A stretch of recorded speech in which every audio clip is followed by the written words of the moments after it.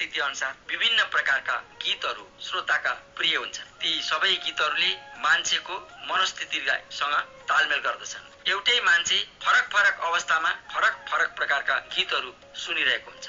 एउटा मान्छेले सधैँ एकै प्रकारको गीत सुनेर मनोरञ्जन लिइरहेको पनि हुँदैन। त्यही मान्छे कहिले रोमान्स भरिएका गीतहरू सुन्दै हुन्छ कहिले पीडा र वेदना मिसिएका गीतहरू सुन्दै हुन्छ कहिले हास्य मिश्रित गीतहरू सुन्दै हुन्छ। उसको एउटै व्यक्तिका फरक फरक समयका फरक फरक मनस्थितिहरूले गीतसँग नजिकको सम्बन्ध राखेका हुन्छन्। त्यसैले गीत भन्दैमा सबै गीत एउटै हो उस्तै हो भन्ने अर्थ लाग्दै। ती गीतहरूलाई प्रस्तुत गर्ने शैली स्वर सङ्गीत यी सब चिजहरूको पनि उत्तिकै महत्व हुन्छ। ती सब चिजहरू एक ठाउँ मिसिएपछि जब गीत बन्छ अनि त्यो गीतले दिने आनन्द अर्कै हुन्छ। आज मैले एउटा अर्को गीत लिएर आएको छु। यो गीतमा स्वर र सङ्गीत दिएका छन् अमर गुरुङले र गीत लेखेका छन् कवि बैरागी काइलाले म पहिला यो गीतका शब्दहरू पढ्छु। शब्दहरू यस्ता छन्। आए सबै याद आए व्यथाहरू अगाध थिए जिन्दगीले ढलिदियो आँखाभरि रात थिए। आए सबै याद आए व्यथाहरू अगाध थिए उफ जिन्दगीले ढलिदियो आँखाभरि रात थिए। फुल्दा फुल्दै बसन्तले फुलहरू ओइली गए फुल्दा फुल्दै बसन्तले फुलहरू ओइली गए जिन्दगीले झरिदियो भुइँभरि पाता थिए आए सबै याद आए व्यथाहरू अगाध थिए उफ जिन्दगीले ढलिदियो आँखाभरि रात थिए। फुल तर मुस्कुराउँथे धेरै हात अँगालेर। फुल तर मुस्काउँथे धेरै हात अँगालेर विश्वासले भत्किदियो भुइँभरि हात थिए आए सबै याद आए व्यथाहरू अगाध थिए उफ जिन्दगीले ढलिदियो आँखाभरि रात थिए। यो गीतका यी शब्दहरूलाई गायकले सुविधाको लागि यी वाक्यलाई तलमाथि गरेर गाएका छन्। बैरागी काइलाको शब्द हो यो? यो गीतको। बैरागी काइला नेपाली कविताका त्यस्ता कविका रूपमा चिनिन्छन् जसका कविताहरू दुर्बोध्य हुन्छन् भनिन्छ। बैरागी काइलाका कविता बुझ्न मेहनत गर्नुपर्छ भनिन्छ। हुन पनि बैरागी काइलाहरूले लेखेका कविताहरू अरू भन्नुको अर्थ उनीहरूले साहित्यमा एउटा लेखन आन्दोलन सुरु गरेका थिए कवितामा। विभिन्न कविता लगायत अरू विधामा पनि ईश्वर वल्लभ बैरागी काइला इन्द्रबहादुर राई तिनजना मानिसलाई एक्ला एक्लै छुट्याएर साहित्यको सन्दर्भमा कुरा गर्नु अपुरो हुन्छ। ईश्वर वल्लभका गीतहरू पनि हामीले सुनेका छौँ लोकप्रिय छन्। ईश्वर वल्लभका धेरै गीतहरू धेरै लोकप्रिय छन् प्रचलित छन्। ईश्वर वल्लभले लेखेको एउटा गीतको चर्चा हामीले अघिल्लो कार्यक्रममा गरिसकेका छौँ। बैरागी काइलाले पनि केही गीतहरू लेखेका थिए।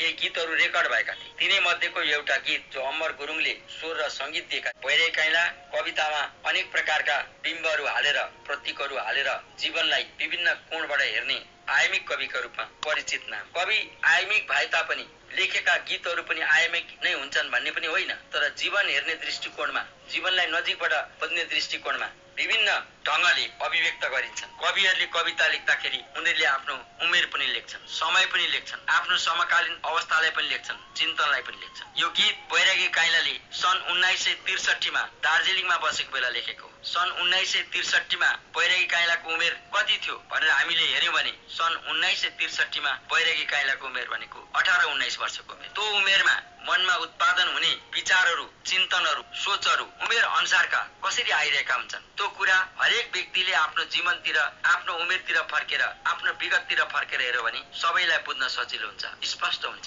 हामी विभिन्न उमेरमा विभिन्न खालका अनुभव र अनुभूतिहरू संग्रह गर्दै अगाडि बढ्दै आएका हुन्छौँ। त्यस क्रममा बैरागी काइलाको कविता तर एक प्रकारको वियोगान्तक कविता छ। वियोगान्तक कविता हो जसलाई गीत बनाइएको छ। गीतकै निम्ति लेखिएको पनि हो यो। बैरागी काइलाका अरू केही प्रेम कविताहरू छन्। ती प्रेम कविताहरूमा पनि पीडा वेदना अथवा प्रेमिकासँग भेट्न नसकेका सङ्कोचहरू ती कविताहरूमा व्यक्त भएका छन्। धेरै समीक्षक समालोचकहरूले पाठकहरूले भन्छन् बैरागी काइलाले जति राम्रा प्रेम कविता धेरै कम मानिसहरूले लेखेका छन् भनिन्छ।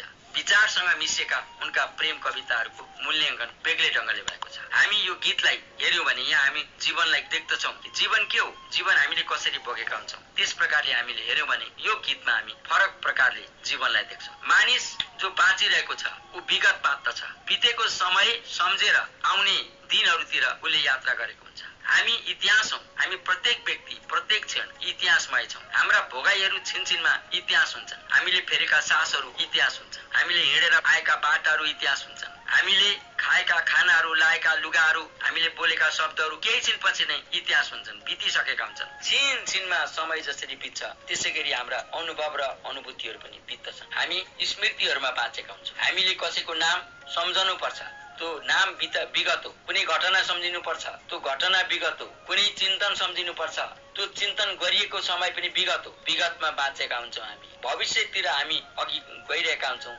तर विगततिर फर्केर हामी हाम्रो ढाडतिर भविष्य छ र हाम्रो अगाडि विगत छ। विगत चाहिँ अगाडि पारेर आगतलाई ढाडतिर पारेर हाम्रो जीवनको यात्रा बितिरहेको हुन्छ। र त्यही विगतलाई हेरेर आगतको कल्पना गर्छौँ कि जसरी विगत हामीले भोग्यौँ त्योभन्दा केही सुन्दर त्योभन्दा केही राम्रो त्योभन्दा केही सन्तोषजनक होला भन्ने आकाङ्क्षा हामीले राखिरहेका हुन्छौँ। त्यसैले आइरहन्छन् यादहरू आइरहन्छन् व्यथाहरू अगाध भोगिएको छ तीहरू आइरहन्छन्। जिन्दगीले उत्साह खोज्दा खोज्दै झरेका हुन्छन् ती सबै अनुभव अनुभूतिहरू। रात जस्तो भएर जान्छन् ती स्मृतिहरू पनि ती भोगाईहरू पनि। फेरि दोहोऱ्याएर त्यही मनोरञ्जन त्यही दुःख त्यही पीडा ग्रहण गर्न नसकिने तर प्रिय भएर बसेका हुन्छन् हाम्रा स्मृतिमा बिर्सिन नसक्ने गरेर। हामी हरेक क्षण त्यही विगत सम्झिन्छौँ आफ्नो बाल्यकाल सम्झिन्छौँ मित्रता सम्झिन्छौँ प्रेम गरेका क्षणहरू सम्झिन्छौँ बाबु आमाहरू सम्झिन्छौँ जागिर व्यापारहरू सम्झिन्छौँ। खेल रमाइलोहरू सम्झिन्छौँ। विद्यार्थी कालको आफ्ना अनुभव अनुभूतिहरू सम्झिन्छौँ। सब सम्झिन्छौँ। सब आउँछन् स्मृतिमा आउँछन् ताजा भएर आउँछन्। बिर्सिन खोज्दा पनि एउटा बिर्सियो अर्को आउँछ अर्को आउँछ।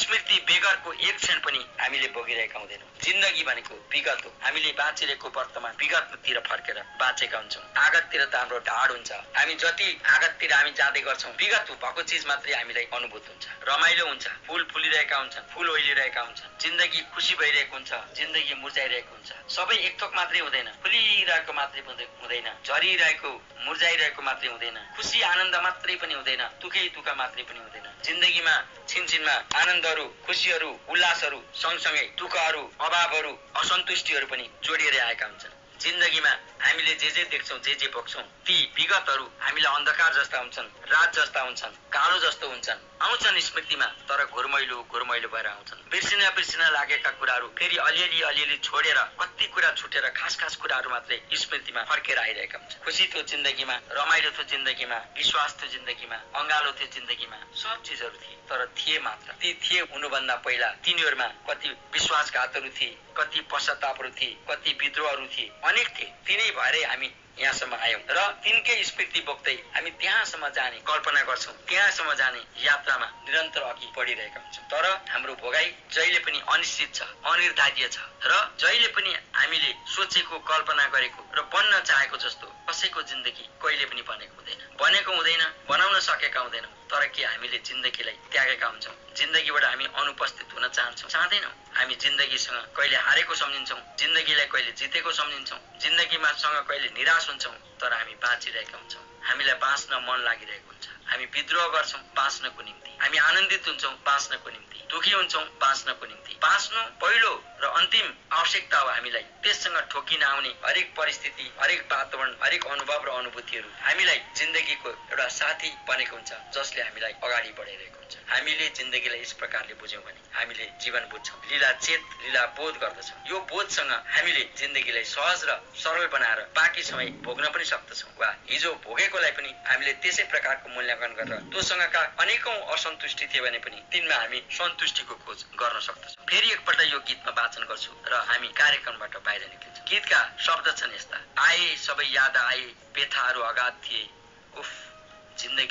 ढलिदियो आँखाभरि रात थिए। फुल्दा फुल्दै बसन्तले फुलहरू ओइली गए। जिन्दगीले झरिदियो। भुइँभरि पात थिए। आए सबै याद आए। व्यथाहरू अगाध थिए। उफ जिन्दगीले ढलिदियो। आँखाभरि रात थिए। फुल तर मुस्कुराउँथे। धेरै हात अँगालेर विश्वासले भत्किदियो। भुइँभरि हात थिए। विश्वासले भत्किदियो। भुइँभरि हात थिए। बैरेकी काइलाले लेखेको र अमर गुरुङको स्वर र सङ्गीतको यो गीतको हामीले चर्चा गऱ्यौँ आए सबै याद आए। जिन्दगीले ढलिदियो आँखाभरि रात हामीले